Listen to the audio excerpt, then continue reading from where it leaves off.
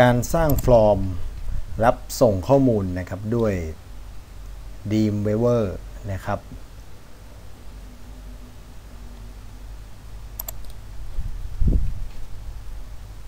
ฟอร์มที่เราจะสร้างเราจะใช้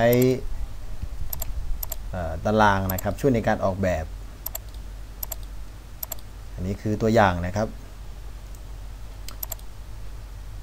อันนี้เป็น Facebook ใช้ตารางในการออกแบบนะครับ ทีนี้ก่อนจะแทรกตารางเราจะต้องแทรกฟอร์มก่อนนะครับ เดี๋ยวไปดูวิธีทำนะครับว่าทำยังไงนะก่อนอย่างวิธีอย่างแรกเลยนะครับ ให้เรา new file ขึ้นมาก่อน แล้วเลือกเป็น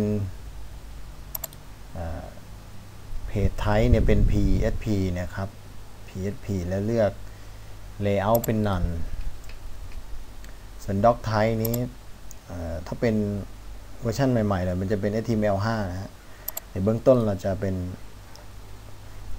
จะเป็นเรียกเป็น default ของมันไว้ก่อนแล้วกด create นะครับ ทีนี้ก่อนจะทำอะไรอย่างแรกเลยให้เปลี่ยนตรง title ตรงนี้นะครับ title ตรงนี้จะไปโชว์ตรง title bar ของ web browser ฟอร์มกรอกรับส่งแล้วกัน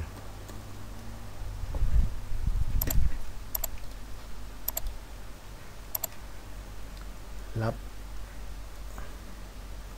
และส่งข้อมูลนะครับ ทีนี้จากนั้นให้ทำการ save ไว้ก่อนเลย วิธีการ save ไปที่ไฟล์แล้วกด save นะครับ ที่สำคัญอย่าลืมเลือกตรง save as type เนี่ยเป็น PHP นะครับและตั้งชื่อไฟล์ ตั้งชื่อไฟล์ตั้งชื่อว่า ep 5เลยกัน ep 5นะครับ แล้วเก็บไว้ที่โฟลเดอร์เว็บของเราใน w w w นะ เพราะมันเป็นไฟล์ PHP ไฟล์สคริปต์ PHP จะรันใน เซิร์ฟเวอร์นะครับแต่เราจำลองเครื่องเราเป็นเครื่องเซิร์ฟเวอร์หรือใช้โปรแกรม AppServ นะครับ เพราะฉะนั้นเราจะต้องเก็บไว้ที่ d a i c y folder App Serve แล้วก็เก็บไว้ที่ World Wide Web นะครับจากนั้นกดปุ่ม Save นะครับทีนี้เราจะได้หน้าเปล่าๆมา เราทำการแทรกตารางมาก่อนเลยเอ้ยยังยังยังผิดจุด อย่าเพิ่งแทรกตารางนะครับ ให้เราทำการแทรกฟอร์มมาก่อน หน้าตาของโปรแกรมจะเป็นอย่างนี้นะครับ บางคนอาจจะเป็นแบบดีไซเนอร์ให้ปรับพื้นที่ workspace ตรงนี้เป็นคลาสสิกนะครับ เราจะได้หน้าตาดีม8 มา แล้วจากนั้นไปที่กลุ่มของเครื่องมือของฟอร์มนะฮะ จากนั้นเรื่องเลือกตรงนี้เลย ฟอร์มเราจะได้เห็นเส้นจุดไขพาสีสีส้มนะครับ จากนั้นเราจะทำการสร้างฟอร์มในในจุดไขปลานี้นะครับ เครื่องมือที่เราจะใช้นะครับ เดี๋ยวกลับไปดูไฟล์เมื่อกี้ตรงนี้จะเป็น text field นะ ตรงนี้ก็จะเป็นบัตทอนนะครับ เป็นปุ่ม submit นะไอพวกนี้ก็ เป็น text field นะครับวิธีการแทรกก็ง่ายมากครับ สมมุติว่ามีตาราง อันนี้จะจะไม่สอนวิธีการสร้างตารางนะครับสร้างตารางก็ไม่ยากนะครับ ทีนี้จะบอกวิธีการแทรก text field วิธีการแทรก text field ง่ายมากครับ ไปที่กลุ่มของ form เครื่องมือ form นะฮะแล้วไปที่ text field ตรงนี้เนี่ย คลิกนะครับ แล้วกดโอเคเลย ทีนี้ แล้วปุ่มมาจากไหนนะครับ ปุ่มก็อยู่ที่ฟอร์มเหมือนเดิมครับ แล้วเลื่อนมาตรงบัตทอนตรงนี้ แล้วก็กดโอเค เราก็จะได้ปุ่ม แล้วก็เปลี่ยนชื่อปุ่มตามนี้นะครับ เราเคย น่าจะเคยเรียนในในภาคเรียนที่หนึ่งแล้วนะใครจำไม่ได้ก็ไปทบทวนเอานะครับ ทีนี้สมมุติว่าเราแทรกฟอร์ม แทรกกล่องแบบนี้เนี่ย มาจนจนครบแล้วนะครับ แล้วก็ได้ตกแต่งหน้าตาเป็นแบบนี้เลยนะครับนะผมจะข้ามไปที่ฟอร์มนี้เลยนะครับ ไปที่ไฟล์นี้นะฮะเพื่อไม่เป็นการเสียเวลา นะครับทีนี้ภารกิจของเราวันนี้คือเราจะกรอกข้อมูลเนี่ยลงไปในกล่องพวกนี้ แล้วกดปุ่มสร้างบัญชีนะครับแล้วจะให้ข้อมูลที่เรากดไปส่งไปเนี่ยมาโชว์ด้านซ้ายนะครับมาโชว์ด้านซ้าย ซึ่งเป็นการส่งค่าในรูปรูปแบบของโพสต์ นะครับโดยใช้ภาษาภาษา PHP นะครับหลักการของมันก็คือ เราจะส่งค่าในหน้าหน้านี้นะครับหน้าเดียวกันพูดง่ายๆนะครับ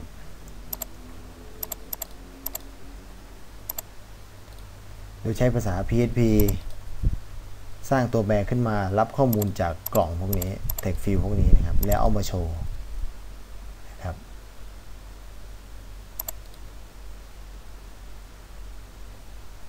เดี๋ยวเบรกสักครู่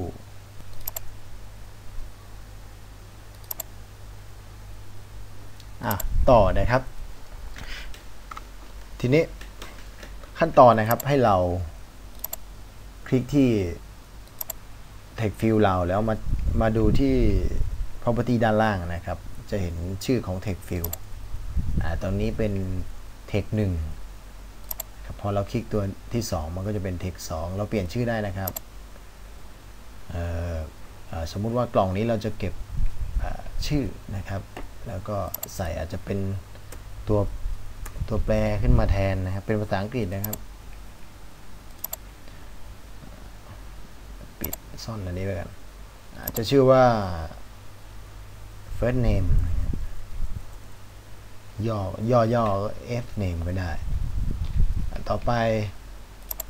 ตรงนี้คือ last name last name แล้วก็ l name อย่างนี้ยก็ได้นะครับ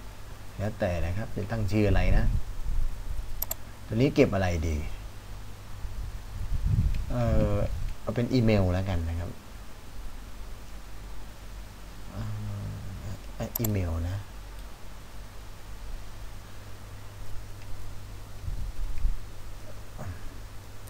เมลนะฮะ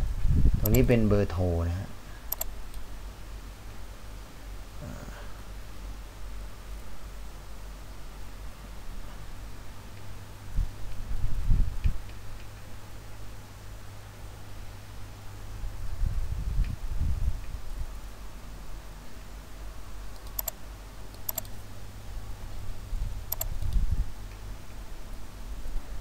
ตัวนี้ตั้งชื่อว่าโฟน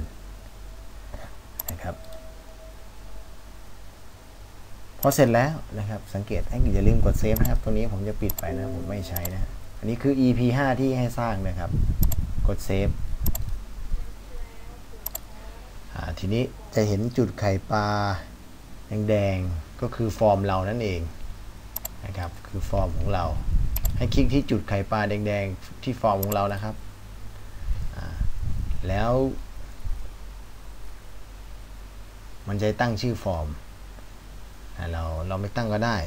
นะฮะแต่ทีนี้ที่สำคัญคือตรงนี้ครับตรง action action คือ พอกดปุ่มแล้วจะให้มันไปไหนนะครับ ถ้าเราจะให้มันส่งค่าในหน้าเดียวกันเนี่ยเราก็เลือกไฟล์นี้เลยครับ